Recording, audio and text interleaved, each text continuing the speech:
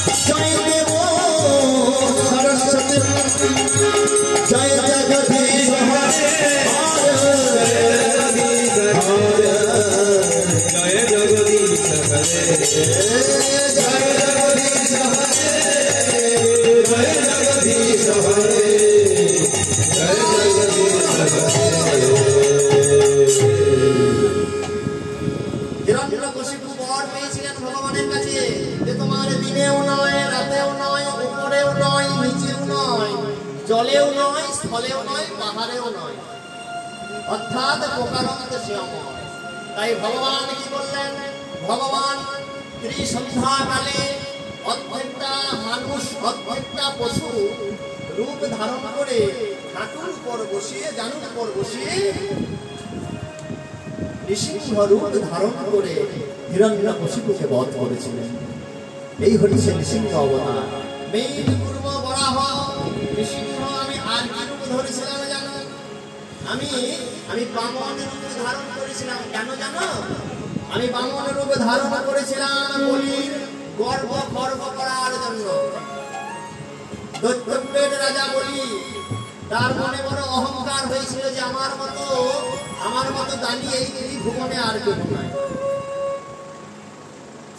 যে যা চাইছে তাকে তাই দিচ্ছে। বলি রাজার গর্ব হয়ে গেল, অহংকার হয়ে গেল ভক্ত মন্ডলী ভক্তমতী আমার মায়েরা। সে কিন্তু দান ধ্যান করছে, ভালো কাজ করছে। কিন্তু সেই কর্মের মধ্যে অহংকার প্রবেশ করে গেল। এবারে যেমনই অহংকার প্রবেশ করে গেল, তখনও সেই সৎকর্ম অসৎ হয়ে গেল। সেই সৎকর্ম অসৎ হয়ে গেল। আমরা করেছি রবীন্দ্রনাথের সেই দীনদান কবিতা। করেছি না? যে বিশ লক্ষ স্বর্ণ মুদ্রা ব্যয় করে কি করেছিল? স্বর্ণ নির্মাণ করেছিল স্বর্ণ বেদি প্রতিষ্ঠা করে স্বর্ণ বিগ্রহ প্রতিষ্ঠা করেছিল।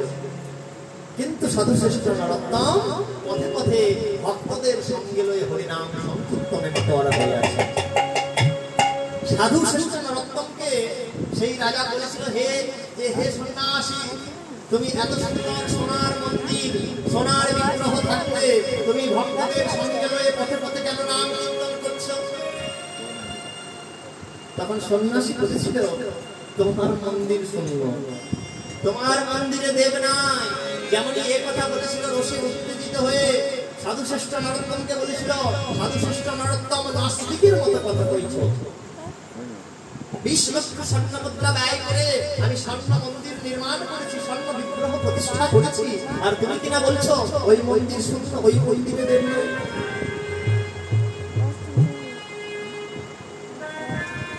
সন্ন্যাসী করজরে রাজাকে বলেছিল, হে রাজন, ওই মন্দির শূন্য নয়। ওই মন্দিরে তুমি জগতের দেবতাকে নয়, জগতের ভগবানকে নয়। ওই মন্দিরে তুমি, ওই মন্দিরে তুমি প্রতিষ্ঠা করেছ নিজের অহংকার তাই সৎকর্ম অসৎ হয়ে গেল। কুন্তিপুত্র অর্জুনকে ভগবান বলেছিল, যত করসি যত সাসি তদাসি যত। তৎসাসি কন্তে তৎকৃষ্য মাত্র করো। যা কিছু করবে আমাকে উৎসর্গ করে করবে তাই সৎ কর্ম অসৎ হয়ে যায় যদি সেই কর্মের মধ্যে অহংকার প্রবেশ করে। ভগবান কারও অহংকার দেখে না, তাই তো তিনি দর্পহারী, তাই না? তিনি দেবরাজ ইন্দ্রের গর্ব গর্ব করার জন্য সপ্তাহ ব্যাপী ধরে কনিষ্ঠাঙ্গুলি দিয়ে বাম হাতের কনিষ্ঠাঙ্গুলি দিয়ে গিরিগোবর্ধন ধারণ করেছিলেন। এমনকি মায়ের অহংকার পর্যন্ত চূর্ণ করেছিলেন। তাই? তাই তো তিনি দর্পহারী ভগবান? তিনি যেমন ভক্ত বাঞ্ছা কল্পতরু তেমনি তিনি দর্পহারী ভগবান?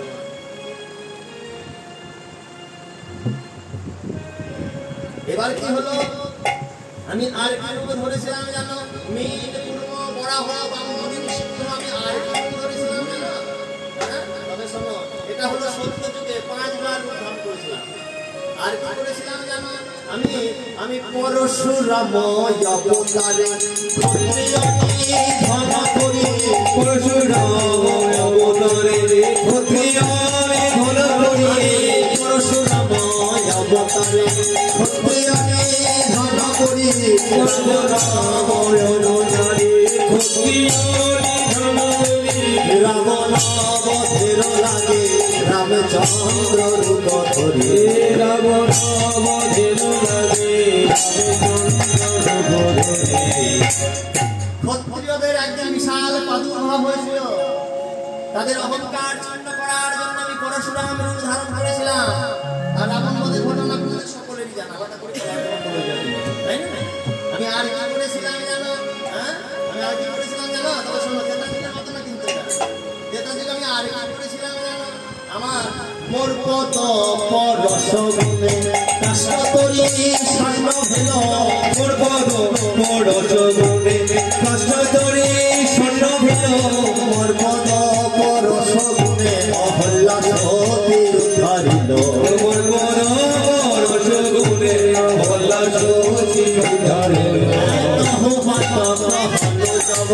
তব হুনা গেল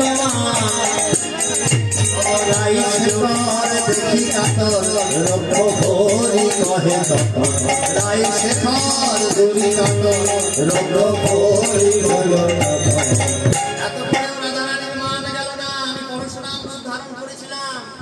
আমি রাবণকে বধ করার জন্য রামচন্দ্র রূপ ধরেছিলাম আমি আর কি করেছিলাম হ্যাঁ? মোর পরশুতে কাষ্টতরি স্বর্ণ ভেল। আমার পায়ের ছোঁয়া, আমার পদের ছোঁয়া, আমার পদ ছোঁয়া যদি কেউ পায় তাহলে কি হয়? যদি কাষ্ট হয় সেটা সোনা হয়ে যেত। আর কি হলো? আমার চরণে পরশ পেয়ে অহল্যা সেই উদ্ধার হয়েছিল। অহল্যাকে? অহল্যা হচ্ছে গৌতম ঋষির পত্নী যার নাম হচ্ছে অহল্যা। দেবরাজ ইন্দ্রের গুরু হচ্ছে গৌতম এবার যেমন না কামদেব যেমনই কামদেব দেবরাজ ইন্দ্রকে কামে বাণে নিক্ষেপ করেছিল কামে বাণে জর্জরিত হয়েছিল কি হয়েছিল। সে তার গুরুপত্নী হরণের বাসনা জেগেছিল। দেবরাজ ইন্দ্রের গুরুপত্নী হচ্ছে অহল্যা। গৌতম ঋষির পত্নী অহল্যা। এবার গৌতম ঋষি প্রতিদিন ভোরবেলায় কোথায় যায় তপস্যা করতে যায় যেমন রাম পাখিরা ডাকে। এবার সেই ইন্দ্র, দেবরাজ ইন্দ্র, অহল্যার সতীত্বকে নষ্ট করার জন্য কি করেছিল? না সেই রাম পাখিকে বলেছিল যে আজ একটু আগে থেকে তোমরা দেবে যাতে গৌতম ঋষি আগে চলে যায়, তপস্যায় ঋষি প্রভাব হওয়ার আগে জানা যায়। এবারে যেমনই না গৌতম ঋষি তপস্যায় গেছে, আর এদিকে গৌতম ঋষি যেমনই তপস্যায় গেছে, ইন্দ্র কি করেছিল? দেবরাজ ইন্দ্র, অহল্যার সতীত্বকে নষ্ট করেছিল।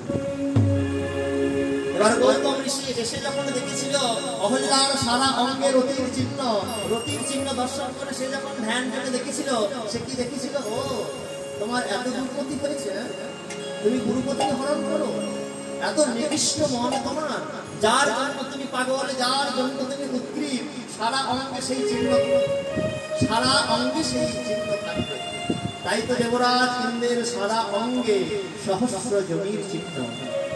এবার অভিশাপ দিয়ে দিল। দেবরাজ ইন্দ্র বড় বলল, হে প্রভু, হে মুনিবর, আমার অপরাধ হয়েছে আমার ক্ষমায় ক্ষমা করুন। এই অভিশাপ থেকে আমি কীভাবে মুক্ত পাবো? এই অভিশাপ তোমাকে যখন দিয়েছি তখন করবে। কিন্তু আমি তোমায় আশীর্বাদ দিচ্ছি, এই সহস্র জমি থেকে সহস্র লোচন। তাই তো দেবরাজ ইন্দ্রের সারা অঙ্গে সহস্র লোচন। আর অহল্যা বলল, আমার কি হবে? তুমি পাষাণ হয়ে যাও। আমি উদ্ধার করে পাবো। উদ্ধার পাবে রামচন্দ্রের চরণ পরশ হয়ে তুমি উদ্ধার পাবে, তার আগে নয়। ভক্তমন্ডলী ভক্তিমতী আমার মাত্র বলব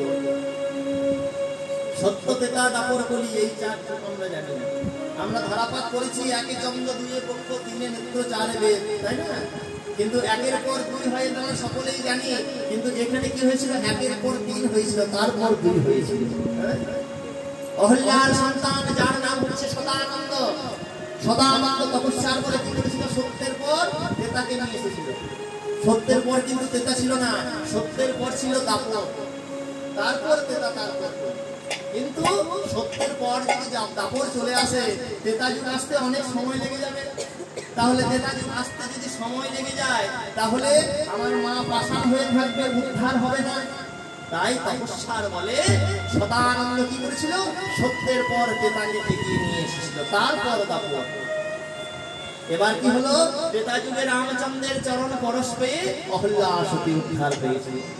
তাহলে কি হলো? সত্য যুগে আমি কি করেছিলাম? পাঁচবার উদ্ধারণ করেছিলাম। পূর্ণ বরাহ বামন সিংহ ত্রেতা যুগে পরশুরাম, রাম উদ্ধারণ করেছিলাম। আর কি করেছিলাম জানো রাধে? হ্যাঁ? তুমি আমার উপর অভিমান করে বসে আছো, তবে শোনো, এটা বেশি দিনের কথা নয়, এই যুগেরই কথা।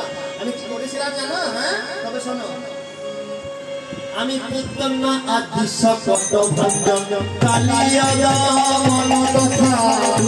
আদি সকট ভজন কালিয়ার মন কথা কে না জান বৃন্দাবনে। তোহে বহু বিশ্বভান বৃন্দাবনে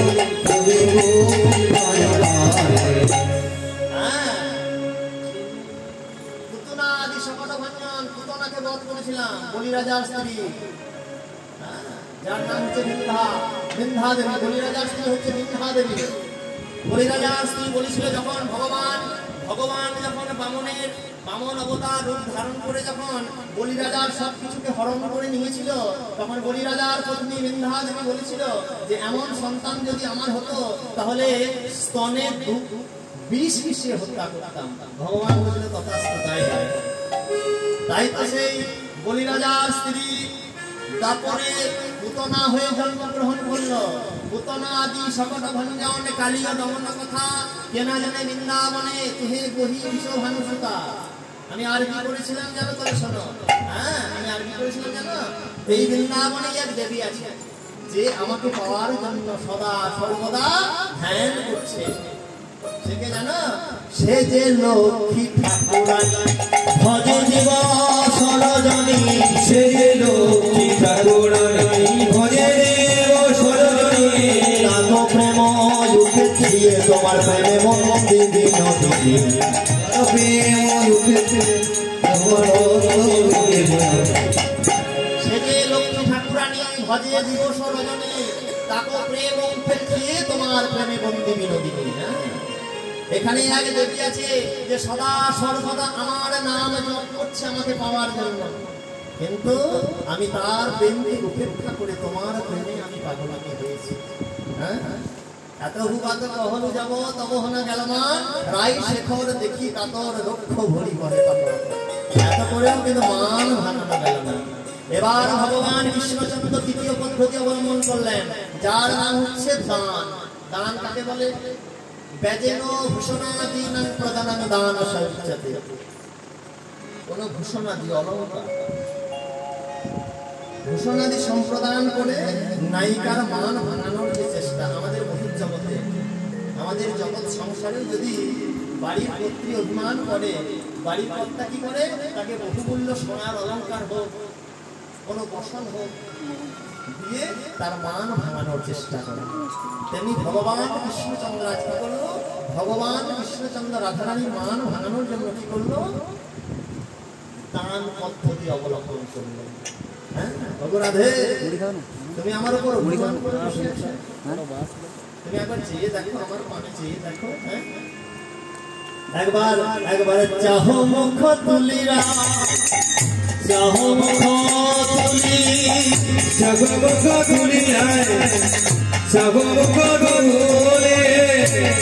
মুখ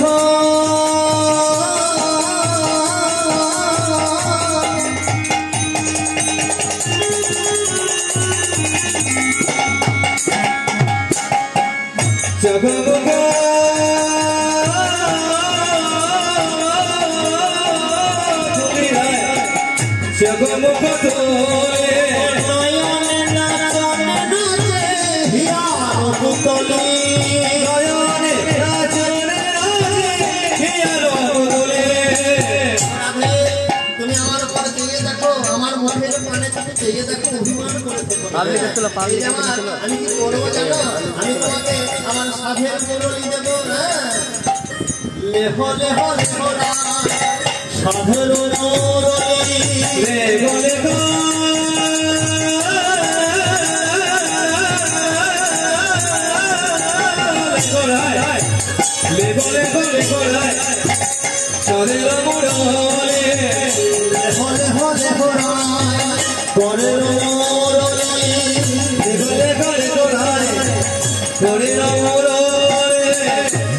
ভগবান কৃষ্ণচন্দ্রের অনেক কিছু ছিল কিন্তু হ্যাঁ? পরের মুরলি, মাথায় মুকুট, চরণে মুকুট, অনেক কিছু ছিল।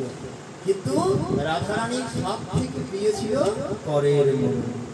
ওগো রাধে! লেহ লেহ লেহ রাম, পরের মুরলি লে বলে গো লে গোড়ায় লে বলে গো লে গোড়ায় চলে মোড়লে আমার এই সব থেকে প্রিয় জিনিসটা আমি তোমাকে দিয়ে দেবো। কিন্তু আমি হলাম এই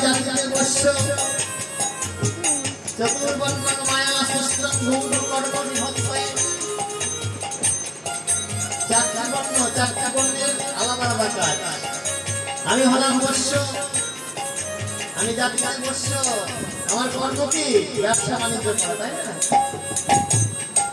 আমি কিন্তু ব্যবসাটা খুব ভালোভাবে জানি একটা কথা আছে না কিছু নিতে গেলে কিছু দিতে হয় কি তোমার তাই না কিছু নিতে গেলে কিছু দিতে হয় তা আমি যে তোমায় আমার এই করের মুরলি দেব আমি কিন্তু এমনি এমনি দেব না লেহ লেহ লেহ করের মুরলি লে বলে গো লে গোড়ায় পরে মোড়লে তার বিনিময়ে আমি তোমার কাছে কি নেব জানো পরশিতে চাহে তোমার চরণের ধুলি পরশি জাগে তোমার চরণের ধরে রাধে চরণের ধরে আমি আমার এই পরের মরণি তোমাকে দিয়ে দেব। তার বিনিময়ে তোমার চরণে ধুলা করে বলছি তবু কিন্তু মুখ ফিরিয়ে যায়। এত ধনের ধনী যে।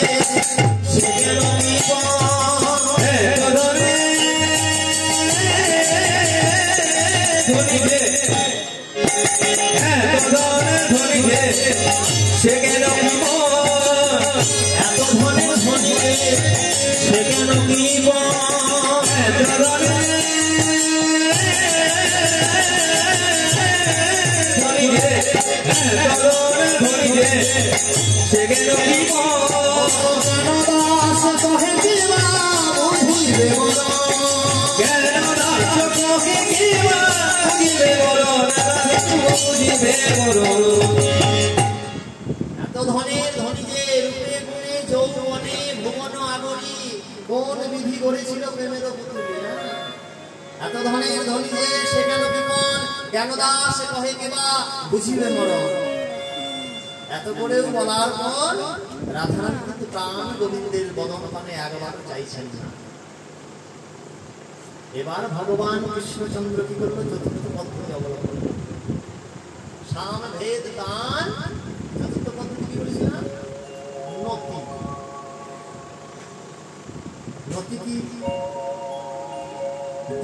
ভাব অবলম্বন পূর্বক চরণে নিপাতে বলছে নতি আত্মসমর্পণ করা। সারেন্ডার মহাভারতের দ্রৌপদী দুঃশাসন যখন বস্ত্রহরণ করছিল করেছিল?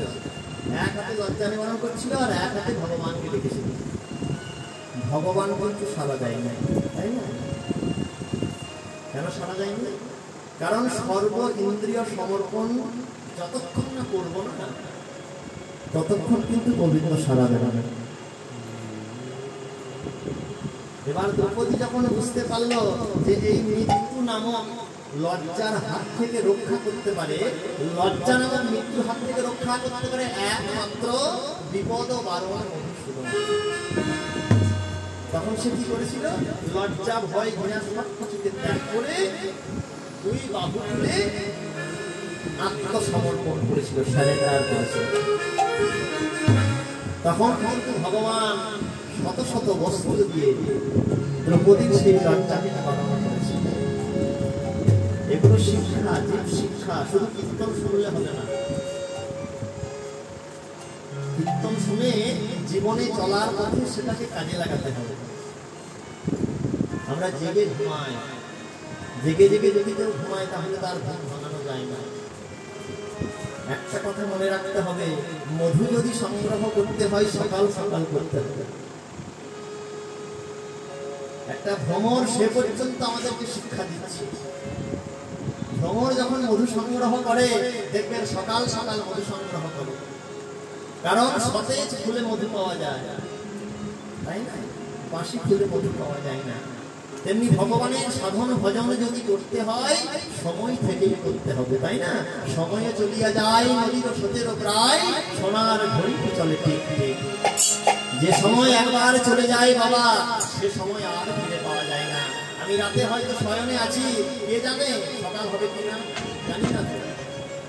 যদি ঘুম ভাঙে তাহলে হবে সকাল আর যদি ঘুম না ভাঙে তাহলে হবে পরকাল। এটাই কেবল হরিবোল,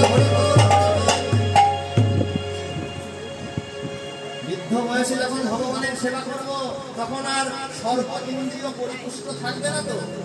তাই না? তখন কি হবে তখন তখন দশাটা কি হবে তখন দশাটা হবে বসতে গেলে মাটি আর উঠতে গেলে লাঠি, তাই না? হাঁটুর ব্যথা তো হাঁটুর ব্যথা ভালো করে বসতে পারি না। বসার জন্য লাঠি ধরে বসতে হবে, তাই না? উঠতে গেলে মাটিতে হাত উঠতে হবে। ভালোভাবে উচ্চারণ হবে না। কেন হবে না দাঁত ভেঙে যাবে। চোখে ভালো করে দেখতে পাবো না গোবিন্দের চরণে তুলসী পত্র নিবেদন করা হবে। গোবিন্দের মন্দির প্রদক্ষিণ করা হবে। এ হলো দেবতার বাঞ্ছিত মানব জন মানব জন এ জনম আমরা হেলাই হারাইব না। ব্রহ্মা জানে বলেছিল আমায়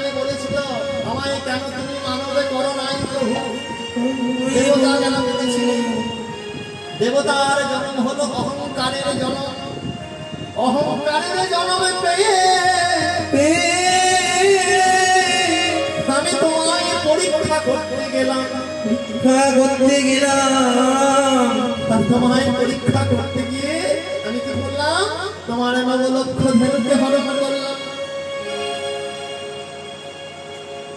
ভক্ত মন্ডলী ভক্তিমতী মায়ের, আমি ভগবান বিশ্বাস করি না, ভালো কথা। তা বলে অবহেলা করব হ্যাঁ? যাকে যার ভালো লাগে, তাকে ধরিব তারা আমার কিন্তু ভালো লাগে, সচিন নন্দন গোড়া। আমি ভগবানকে বিশ্বাস করি না, ভালো কথা। আমি তোমায় পরীক্ষা করতে গিয়ে তোমার নবলক্ষ ধেনুকে হরণ করলাম, আর প্রায়শ্চিত্ত স্বরূপ আমাকে কি হলো? আমাকে জবন তুলে জন্ম নিতে হলো। তাই না? ব্রহ্মা জন্মকুলে জন্ম নিয়েছিল, যার নাম হচ্ছে ভক্ত হরিদাস। পরে সে হয়েছিল নামাচার্য হরিদাস নামের সে তিন লক্ষবার নাম জপ করত। এমনকি কলিযুগের ভগবান মহাপ্রভু সেই ভক্তের সম্মুখে আসতে ভয় পেত। তার ভজন সাধনটা এত শক্ত ছিল এত উচ্চ মার্গের ছিল, স্বয়ং ভগবান তার সম্মুখে আসতে ভয় পেত যদি ভক্ত কিছু চেয়ে ফেলে, তাহলে আনতে পারব না। তাহলে আত্মনিবেদন করতে হবে। নববিধা ভক্তির মধ্যে এটাও একটা আত্মনিবেদন পাব সেবন তাই?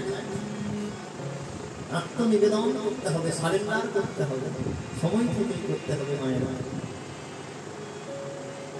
এবার ভগবান কি করল? রাধারানীর চরণ তলে বসে মান সাধনা করতে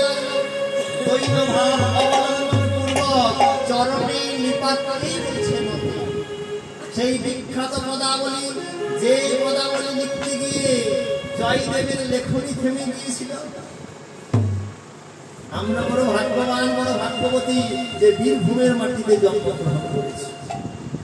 স্বয়ং ভগবান ভক্তের বাসনা পূরণ করার জন্য গোলক থেকে এই ধরাধামে নেমে এসেছিল। নিজের হাতে কলম নিয়েছিল আর সেই কলম অনুযায়ী আজ ভগবান রাধারানীর চরণ তলে বসে মানুষ সাধনা করছেন।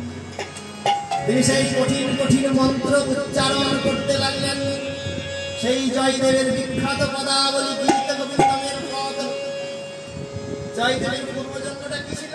জয়দেবের পূর্বজন্ম হচ্ছে মুচকুন্দ রাজা। ভগবানের কাছে বর পেয়েছিল ভগবানের কাছে চেয়েছিল, কি চেয়েছিল?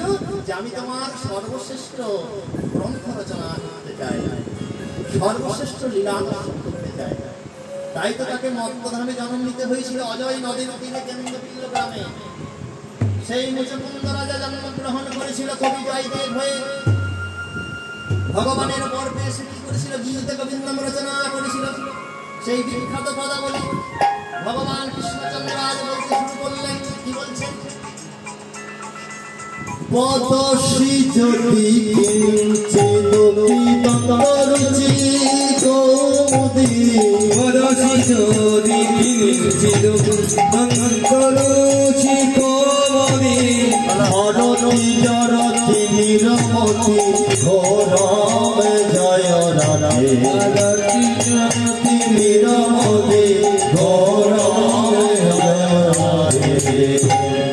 সংস্কৃত অর্থ বোঝা গেল?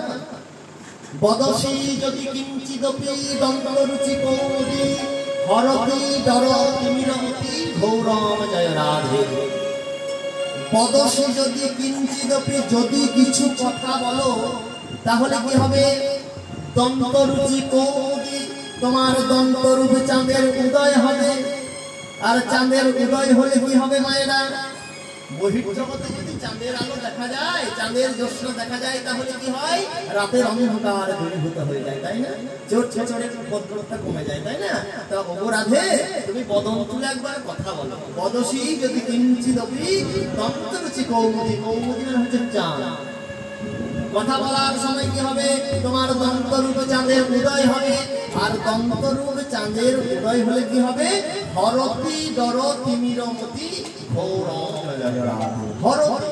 মানে আমার মনে যে অজ্ঞানতার অন্ধকার সেই অন্ধকার দূরীভূত হয়ে যাবে। তাই তো আমি কি বলি জানো রাধে? একবার বদন ফুলে বলো কথা বদন তুলে বলো কথা। বদন ফুলে বলো কথা বদনে তুলে বলো কথা। দূরে যাবে মনের ব্যথা। বদন তুলে বলো কথা। তুমি যাবে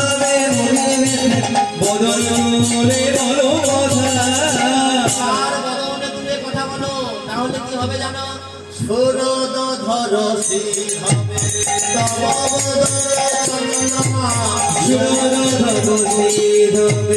তব বদল চন্দমা লোচয়তি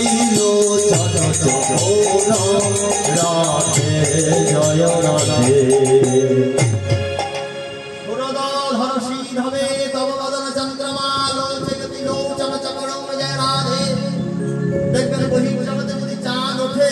তাহলে চাঁদের একটা সুধা আছে তাই না?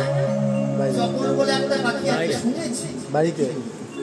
সেই চকর পাখি কোনো কিছু পান করে না। সেই চকর পাখি কি করে? চাঁদের সুধা পান করে। সূর্যোদয় শ্রী হবে তব বদন চন্দ্রমা। সেই পাখি কি করে বিচরণ করে কেন?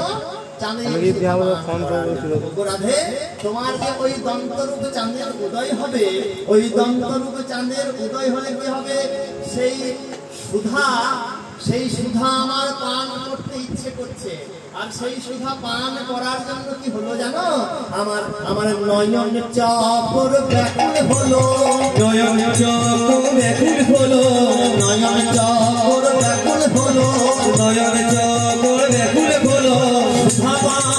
করবার লাগি নয়ন চকর ব্যাকুল হলো। সুধাবার করবার লাগি নয়ন চকর ব্যাকুল হলো।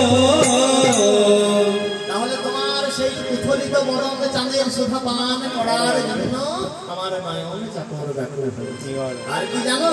প্রিয় চারু শিলে পঞ্চময়ী মানবনী দান সপতি মদনা লল দহতি মানস দেবী মুখ রাধে জয় রাধে। প্রিয় চারু শিলে মানব দহতি মম মানসম দেহি মুখ কমল মধুপান শুনেছি মায়েরা ভালো জানবেন যে ক্ষতস্থানে পদ্মের মধু লাগালে নাকি জ্বালা উপশম হয়ে যায় কি গো মা, ঠিক বলেছি? যদি কোনো ক্ষতস্থানে জ্বালা হয় তাহলে সেই জ্বালা নিবারণ করার জন্য যদি পদ্মের মধু লাগানো হয় তাহলে নাকি কিছুটা হলে জ্বালা হয়।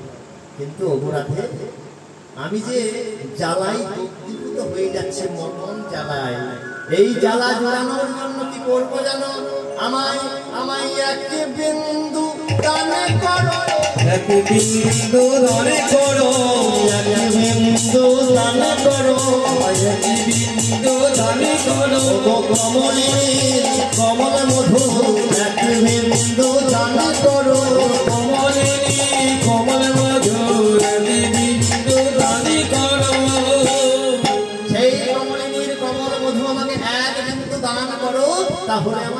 হলেও জ্বালা হয়ে সত্যমে বাসি যদি সুদতিময়ী গৌপিনী ধরয়তি কপনত রূপম জয় রাধে সত্যমে বাসি যদি সুদতিময়ী গৌপিনী দেহি খরনায়ন সরঘাত রাধে, তুমি হলে আমার সংসার সাগরের রত্ন স্বরূপা তুমি হলে আমার সংসার সাগরের রত্ন। তুমি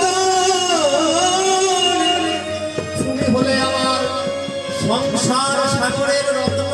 তুমি কৃপা করে আমার দিকে চেয়ে দেখো আর অভিমান করে থেকো। তোমার এত রাগ, এত অভিমান। তুমি কি করবে জানো? তোমার নিজের ইচ্ছে মতো তুমি আমাকে শাস্তি দাও। তুমি আমায় শাস্তি দাও ভালো কথা, কিন্তু চুপ করে থেকো না। দেখবেন যদি কেউ রাগ করে থাকে আমাদের জগৎ সংসারে। যদি কোনো কথা না বলে, তাহলে কিন্তু রাগ ভাঙানো? যদি কোনো কথা না বলে না, তাহলে কিন্তু রাগ ভাঙানো খুবই সমস্যা, মুশকিল। তাই প্রাণ গোবিন্দ আমার রাধারানীকে বলল, তুমি হলে আমার সংসার সাগরের রত্ন স্বরূপা। তুমি চুপ করে থেকো না। তুমি আর যা করো, চুপ করে থেকো না। তুমি আমাকে শাস্তি দাও। তুমি আমাকে বান নিক্ষেপ করো। তুমি আমাকে নিক্ষেপ আর তুমি যে আমায় বান নিক্ষেপ করবে, তুমি কি করবে জানো? তুমি বান নিক্ষেপ করার জন্য ভুজ যেন বা তুমি আমাকে বন্ধন করো ভুজ জনয় কিসে বন্ধন করবে? সোনার লতায় বন্ধন করি। সোনার লতায় বন্ধন করি। সোনার লতায় বন্ধন করি। সোনার লতায় বন্ধন করি। রাখো তারা তারে বলি সোনার লতায় বন্ধন করি।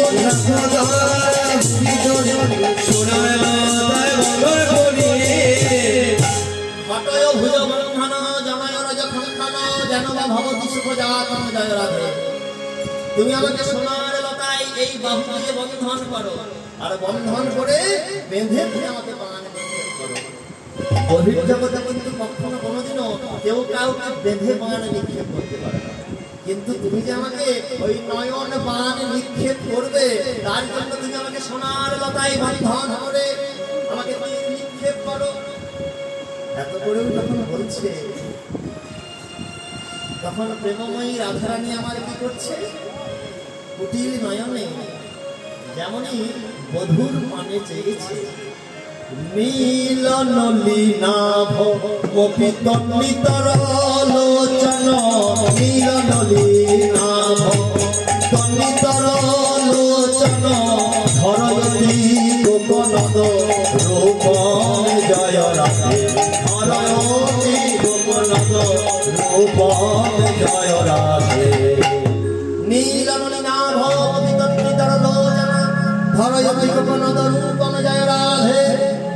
যেমন না আর নয়নে কুটিল নয়নে বধুর পানে চেয়েছে অমনি প্রাণ বধু আমার দেখল রাধারানীর নীল সাদৃশ্য নয়ন আজ রাগে লাল হয়ে গেছে। যেমনই দেখল যে নীল সাদৃশ্য দুটি রাগে লাল হয়ে গেছে অমনি প্রাণ গোবিন্দ কি করল?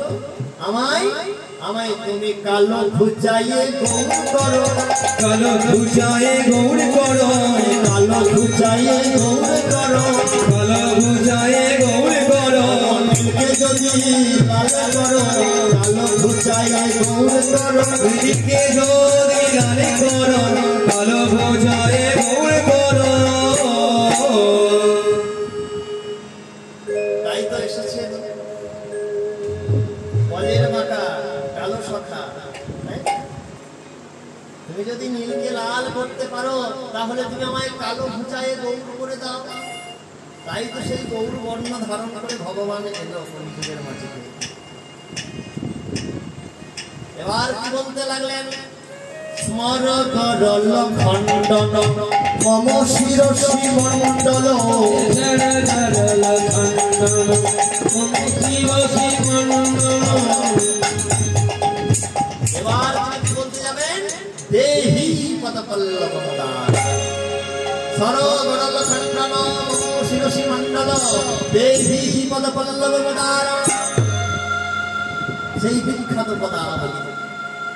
যে পদাবলী রচনা করতে গিয়ে জয়দেবের লেখনী থেমে গিয়েছিল ভক্ত কবি জয়দেব, প্রতিদিন গঙ্গা স্নানে যায় গ্রন্থ রচনা তিনি যেমনই লিখতে যাবেন সরগরল খণ্ডন নমশিরসি মণ্ডল তারপর তিনি যেমনই লিখতে যাবেন দেহি পদপল্লব মদার অমনি তার লেখনী থেমে গেল। এই চরণ তো আমি পারব না। কারণ এটা কেমন করে সম্ভব? এ তো সম্ভব নয়। যিনি হচ্ছেন ভগবান, সেই ভগবানের মস্তকে আমি কেমন করে রাধারানীর চরণ থেকে তুলে দেব? এ তো আমি পারব না। তাহলে কি আমার, তাহলে কি আমার গ্রন্থ সম্পন্ন হবে না? তিনি রাধা মাধবের দিকে দৃষ্টি দিয়ে বলছেন, ওগো ভক্ত বাঞ্ছা কল্প শুনেছি তুমি নাকি ভক্ত বাঞ্ছা ভক্ত বাঞ্ছা ভক্ত বাঞ্ছা কল্প তরু ভক্তের বসনা ভক্তের বসনা কোরআনে করাই তোমার কাজ তোমার তাহলে আমার বেলায় কেন হবে না? তুমি নাকি ভক্ত বাঞ্ছা কল্প তরু গায়ে যদি কোনো কিছু চায় তুমি তাকে না দিয়ে ফেরাও না। তাহলে আমার বেলায় কেন হবে না? আমার মনে যে বড় বাসনা ছিল যে আমি সর্বশ্রেষ্ঠ গ্রন্থ রচনা করব, কিন্তু সেই বাসনা তো পূর্ণ হবে না। এই চরণ ছাড়া আমার আর কোনো দ্বিতীয় চরণ মনে পড়ছে না। এমন সময় গগনে বেলা দেখে পদ্মাবতী মা বলল, ঠাকুর, আপনি স্নানে যাবেন না? রাধা মাধবের বিগ্রহ সেবা করবেন না? কমণ্ডল হাতে নিয়ে পদ্মাবতীর বসন্ত জয় জয় ঠাকুর গঙ্গা স্নানে গেলেন। এদিকে ভক্ত বাঞ্ছা কল্প তরু ভক্তের বাসনা পূরণ করার জন্য কি করলেন? জয়দেবের রূপ ধারণ করে বহির্গজ্জায় করা আগেকার দিনে নিয়ম ছিল। বাড়ির পুরুষরা যদি বাড়ির বাইরে যায় বহির দরজা বন্ধ করে দিত। এখন সেটা হয় না। এখন হয়তো হয় না। এখন হোয়াটসঅ্যাপ ফেসবুক তাহলে কি হলো? ভগবান ভক্তের বাসনা পূরণ করার জন্য করা জয়দেব ঠাকুর। আপনি স্নানে গেলেন আমার ঘুরে এলেন? ওগো পদ্মা, আমার কি হয়েছে জানো? আমার না ওই গীত গোবিন্দমের পরের চরণখানি মনে পড়ে গেছে। স্নান করতে গিয়ে যদি আমার বিস্মরণ হয়ে যায়, তাহলে তার গ্রন্থ সম্পন্ন হবে না। দাও দাও দাও, আমায় গীত গোবিন্দম দাও, আমি গ্রন্থ করা সম্পন্ন করি। এবারে যেমন না গীত গোবিন্দম তুলে দিয়েছেন, অমনি ভগবান জয়দেব বেশি ভগবান দেখলেন, লিখেছেন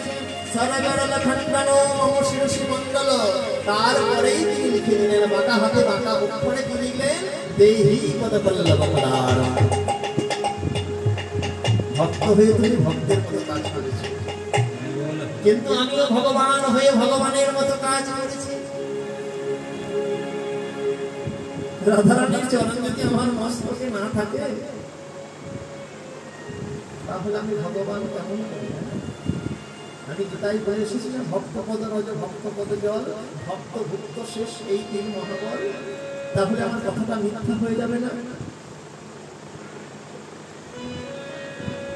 এই জায়গাটাতেই ভগবান ভিকারি। ভগবানের সব কিছু আছে, কিন্তু ভগবানের ভক্তি। ভক্তি হচ্ছে একমাত্র ভক্তের সম্পদ। যেটা পাওয়ার জন্য ভগবান সর্বদা ভক্তের দোরগোড়ায় আসে। সেই ভক্তি লাভ করার জন্য, সেই ভক্তি পাওয়ার জন্য ভগবান ভক্তের কাছে ছুটে আসে।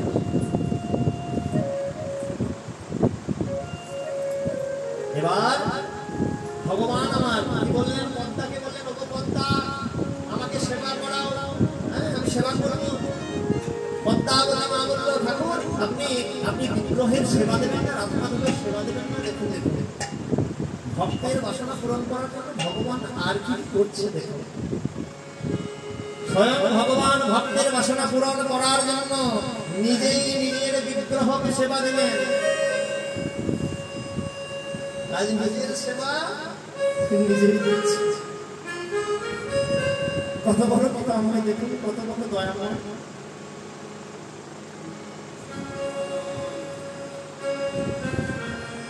শুধুমাত্র ভক্তের বাসনা পূরণ করার জন্য আজ নিজের হাতেই নিজে সেবা দিচ্ছে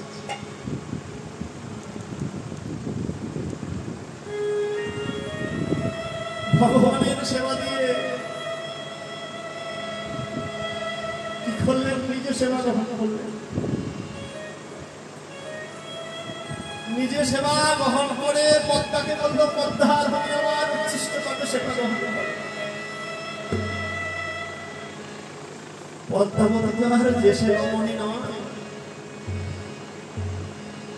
পদ্মাবতী হচ্ছে রাধা অংশে জন্ম। রাধা অংশে জন্ম নেবে সতী পদ্মাবতী। ভগবানের কৃপায় এমনি এমনি পাইনি বাবা। ভক্ত প্রহ্লাদ পাঁচ বছর ভগবানের ভক্ত ধ্রুব পাঁচ বছরে ভগবানের কৃপা লাভ করেছিল, এমনি এমনি করেছিল। কোটি জন্মের সুখ যদি না থাকলে হয়। ধ্রুব যখন ভগবানের তপস্যা করতে গেল, রাজ সিংহাসন পাওয়ার জন্য, যখন সে ভগবানের কোমল স্পর্শে কোমল ছোঁয়া যখন সে পেল ভগবান বলল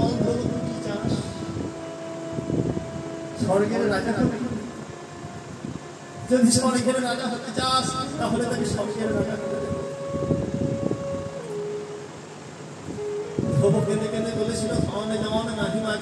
কবিতা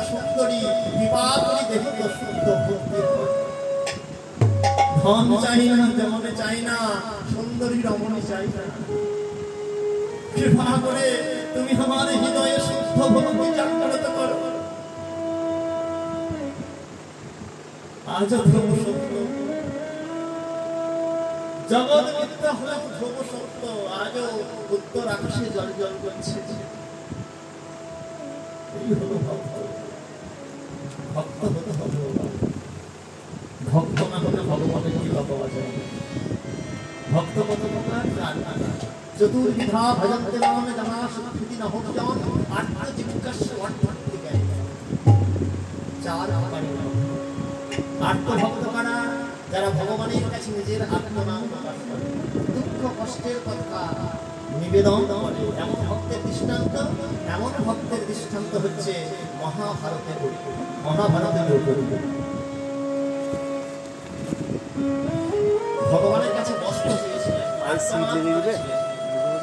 এমন রয়েছে গোপাল সারা অঙ্গে যখন কুষ্ঠ হয়ে গেল যন্ত্রণায় জ্বালা যন্ত্রণায় ছটফট করছিলেন তখন তিনি ভগবানের শরণাপন্ন হয়েছিলেন আর ওই লাল মাছটা দেখুন। লাল মাছটা এই দিকে যে ইয়ে এই হচ্ছে আত্মভক্ত দ্বিতীয় প্রকার ভক্ত হচ্ছে জিজ্ঞাসা ভক্ত।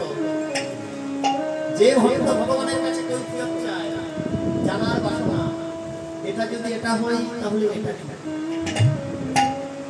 যেমন সার্বভৌম পণ্ডিত এমন দৃষ্টান্ত রয়েছে মহাভারতের কুন্তিপুত্র অর্জুন। যখন সে কুরুক্ষেত্র যুদ্ধ করতে যাবে তখন সে বুঝতে পারছে না তার কি করা কর্তব্য। তিনি ভগবানের শরণাপন্ন হলেন। ভগবানকে বললেন, বলো, আমি কোন পথ অবলম্বন করব? যাদের বিরুদ্ধে যুদ্ধ করব, তারা সকলে আমার আপন ভগবান তখন তাকে কৃপা করে বিশ্বরূপ দর্শক করিয়েছিলেন। যে, পার্থ, তুমি হলে শুধুমাত্র সর্বকারণের কারণ হলাম আমি। যা করার আমি সব করে রেখেছি, তুমি শুধুমাত্র উপলক্ষ তখন তিনি যুদ্ধ করেছিলেন। আর ভক্ত, অর্থাৎ ভক্ত। এই ভক্ত হয়ে আবার দুই প্রকার ইহজগতের অর্থাৎ ভক্ত আর পারলৌকিক অর্থাৎ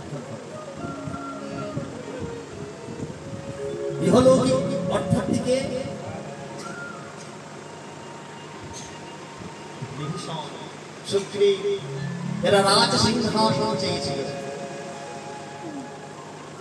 আর পারলৌকিক অর্থাৎ ভক্ত হচ্ছে যদিও বাবা ধ্রুব প্রথমে ইহলৌকিক অর্থাৎ ভক্ত ছিল। কিন্তু ভগবানের কৃপায় সে কি হয়েছিল? পারবর্তী ভক্ত হয়েছিল। আর একজন ভক্ত যিনি হচ্ছেন জ্ঞানী ভক্ত, এই ভক্ত হচ্ছে শ্রেষ্ঠ ভক্ত। এই ভক্তের দৃষ্টান্ত হচ্ছে বৃন্দাবনের প্রজাপতিগণ। বৃন্দাবনের ভক্তগণ বৃন্দাবনের ভক্তগণ পাঁচ প্রকার শান্ত দাস্য সত্য বাৎসল্য মধুর। তাহলে ভক্ত হতে হবে, তবেই ভগবানের কৃপা পাওয়া যাবে। তাই ভক্তের বাসনা পূরণ করার জন্য ভগবান আমার কি করলেন, নিজের হাতেই নিজের বিগ্রহকে সেবা দিলেন। এবার সেই উচ্ছিষ্ট পদে পদে দাবতী যেমন না সেবা গ্রহণ করতে যাবে, অমনি অমনি অমনি বহির্দরজায় জয়দেব স্নান করে ফিরে এলো। এবারে যেমনই দেখল বহির্দরজা খোলা রয়েছে। যেমনই বাড়ির মধ্যে প্রবেশ করেছে একই একই পদ্মা? তুমি তুমি আমাকে অভুক্ত রেখে তুমি সেবা গ্রহণ করছ? আমি বেশ বুঝতে পারছি।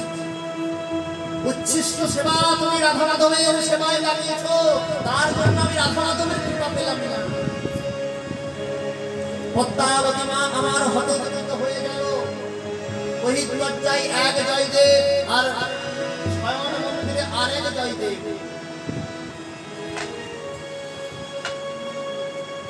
তিনি আমি সত্যি বুঝতে পারছি না সেই বা কে আর এই বা ভজন মন্দিরে। মন্দিরে গিয়ে দেখলেন গীত গোবিন্দম গ্রন্থ পড়ে রয়েছে। কিন্তু জয়দেব তবে কৃষ্ণ অঙ্গ গ্রন্থ পেয়ে যায়। আমার আবার ফিরে গেলেন বহির্দরজায় এসে বললেন, স্বামী গো, আমি সত্যি বুঝতে পারছি না কি হলো। আপনি স্নানে গেলেন, স্নান থেকে ফিরে এসে আমাকে বললেন, স্নান করতে গিয়ে ফিরে গেলেন, ফিরে এসে আমাকে বললেন গীত গোবিন্দম দাও। আমি আপনাকে গীত গোবিন্দম দিলাম। আপনি গীত গোবিন্দম সম্পন্ন করে সেবা গ্রহণ করে রাধা বিগ্রহ সেবা দিয়ে উচ্ছিষ্ট পাতে আমায় সেবা গ্রহণ করতে বললেন। আমি আপনার চরণ সেবা করলাম জয়দেবের বুঝতে আর বাকি রইল না। ওগো পদ্মা দাও দাও দাও, আমায় মহাপ্রসাদ দাও। তোমার মহাপ্রসাদ পেয়ে আমি আমার জীবন ধন্য করি। পদ্মাবতী বলল স্বামী একথা একথা শোনাও হয় বা।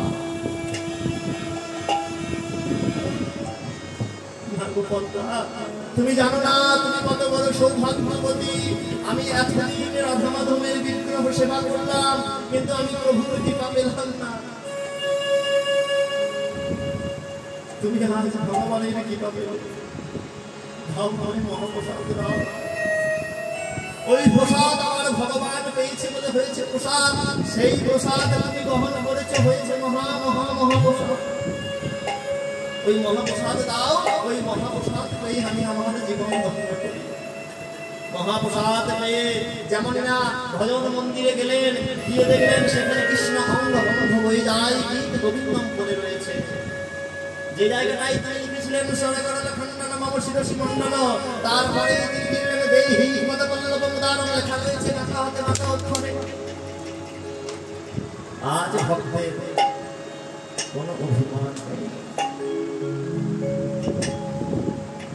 জয় ধী রমণ জয় দেব কবি হারিত ভৌমিত শ্যাম জয় হো জয় পদ্মাবতীর জয় হোক যারা রাধা গোবিন্দের সেবা পেল। তাদের জয় হোক।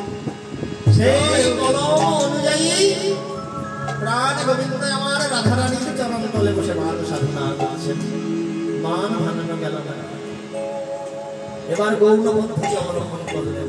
সাম ভেদ নদী, তারপর হচ্ছে ক্রিয়া মানে কিছু করে দেখালেন। তিনি হচ্ছেন জাতিতে বস্য ব্যবসা বাণিজ্য গৌরব তার কাজ। সে কি করল? সে আজ ব্রাহ্মণত্ব করল পুজো করল। কি পুজো করল? মান চণ্ডী পূজা। তোরা দেখবি যোগিয়া তোরা দেখবি যোগিয়া তোরা দেখবি যোগিয়া তোরা দেখবি যোগিয়া আমার মান পূজা করেন শেষে তোর শ্যামরায় দেখবি যোগিয়া তোরা দেখবি যোগিয়া তোরা দেখবি যোগিয়া আমার মান চণ্ডীর পূজা করেন শেষে তোর শ্যামরায় আমার চন্দ্রের পূজা করো রসিক সে আজ চণ্ডী পূজা করছে মান চণ্ডী পূজা করতে গেলে কি কি লাগবে?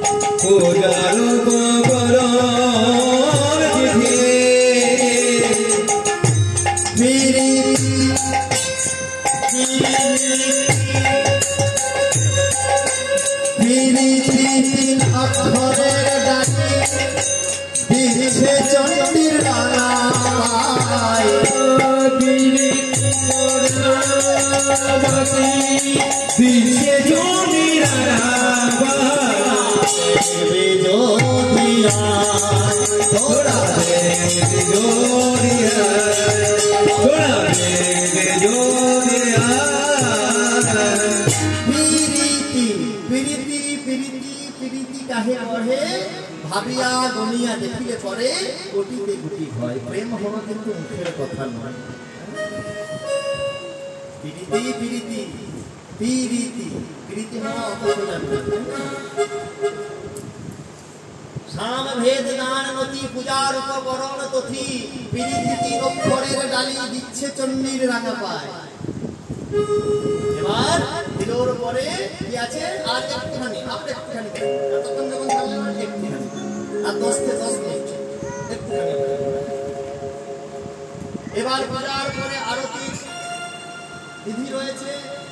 প্রাণ গোবিন্দ আমার আরতি করছেন, কেমন ভাবে অঙ্গ কান্তি প্রদীপেতে আরতি করে যতনেতে। অঙ্গ গগনে দীপিতে আরতি করে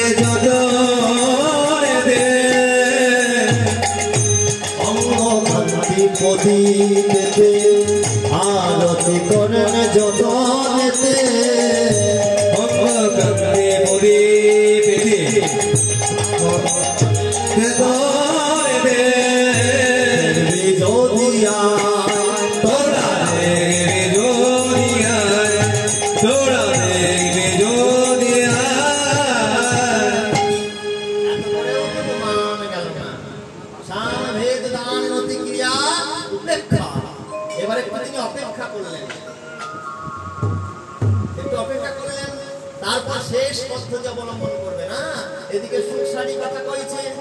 সুখ শাড়ি।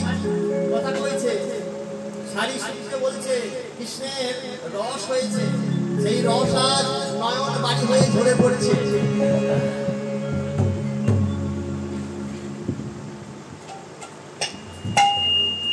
এবার কৃষ্ণ দেখল, সুখ সুখ পাচ্ছে না।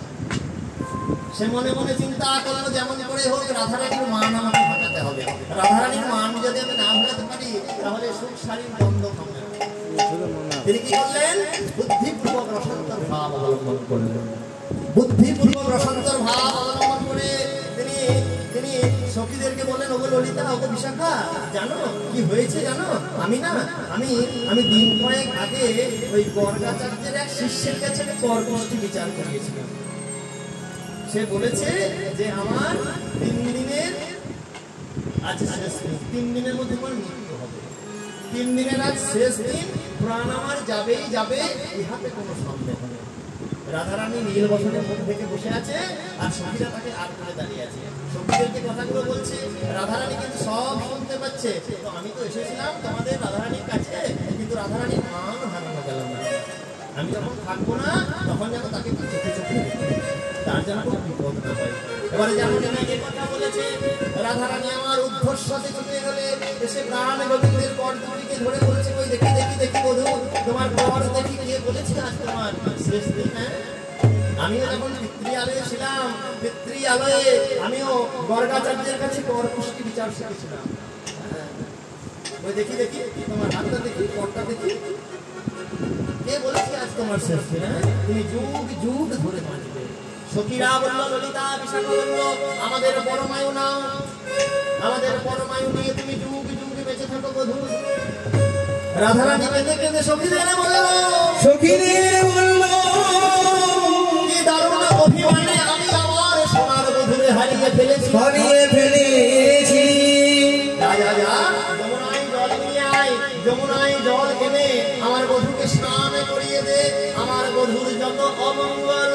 সবে দূরীভূত হয়ে যা হ্যাঁ? এবার বলল রাধে আমরা রূপ দর্শন করব হ্যাঁ? এবার মায়েরা আমরা রূপ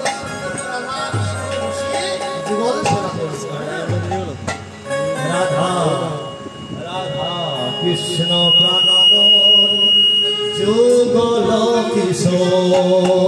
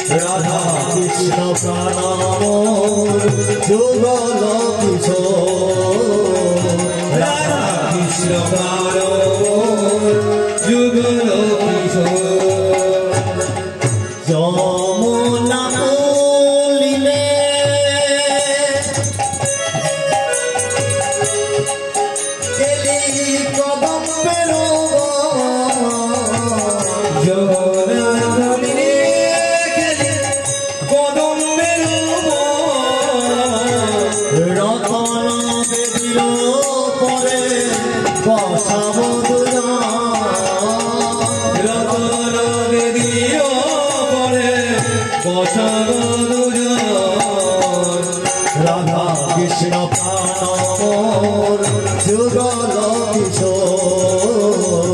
রাধা কৃষ্ণ প্রাণ মোর যুগল কিশোর।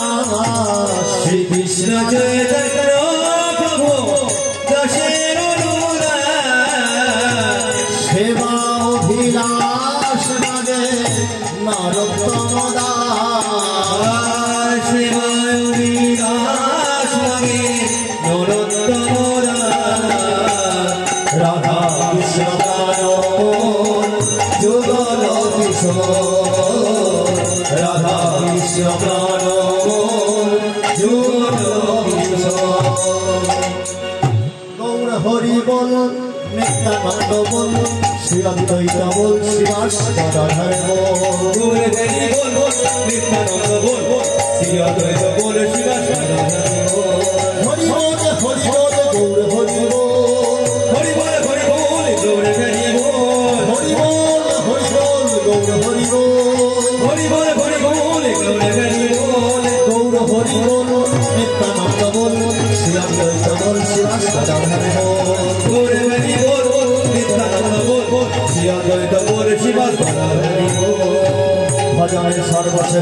বন্ধা কৃষ্ণ প্রেম কৃষ্ণ দিতে ধরে মহাশক্তি কৃষ্ণ প্রেমে কৃষ্ণ দিতে ধরে মহাশক্তি এবার তার মধ্যে সর্বশ্রেষ্ঠ নাম সংকীর্তন যে নাম লইলে হয় পাপে বিমোচন হরে কৃষ্ণ হরে কৃষ্ণ কৃষ্ণ কৃষ্ণ হরে হরে রাম হরে রাম রাম রাম হরে